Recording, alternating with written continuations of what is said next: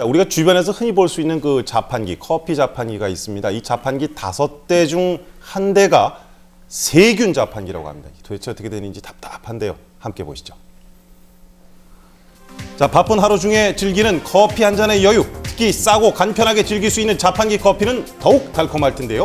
하루에 뭐 한 다섯 잔? 하루에 한 뭐 한 열잔 이상은 먹어요. 하지만 우리가 이렇게 친밀하게 지내오던 자판기 커피 그 속을 들여다보면 매우 살벌하다는데요. 자판기 문을 연 순간 아이고. 악취와 곰팡이가 가득한 물바지통. 사오이, 사오이. 이걸 청소하면서 내일 버려야 되는데 그걸 잊어먹었어요. 여름철인데. 자, 잊어버렸다고 넘어가기에는 너무 심각한 자판기 위생 상태. 식품위생법에 따라 하루 한 번 이상 내부 청소를 해야 하지만 관리자들은 그런 사실조차 모르고 있었습니다. 언제 하는지 자, 심지어. 세척 장치도 없는 자판기에는 정체불명의 부유물까지 떠다니고 있었습니다. 세척기를 사용할 줄 모르시나요?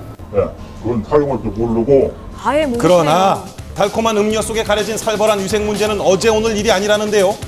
자, 이 서울시에서 4월부터 한 달간 시내 커피 자판기의 위생 상태를 조사한 결과 약 20% 정도가 내부 위생 상태 불량 등으로 부적합 판정을 받았습니다.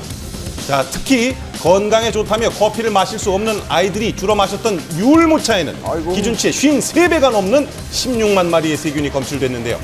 자, 이렇게 적발된 자판기는 폐쇄 및 영업정지 처분이 내려진다는데 과연 이대로 끝날 수 있을까요?